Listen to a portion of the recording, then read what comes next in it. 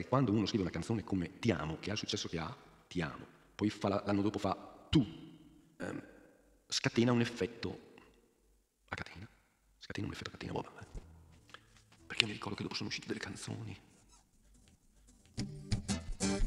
Ti voglio tanto bene, ti voglio tanto bene, ti voglio tanto bene, ti voglio tanto bene, ti voglio tanto bene. Di Soffici, mi sembra si chiami, Umberto Soffici. Vabbè, dai. Mi fa anche piacere perché ha guadagnato qualcosa, che ha scritto delle bellissime canzoni anche lui. e per l'altro che non la riusciva a cantare neanche. Eh, nada. Amo solo te, amo solo te. Dimmi che mi ami, che tu ami, che tu ami, che mi ami solo te, ami solo te. Dimmi che mi ami, che tu ami, che tu ami.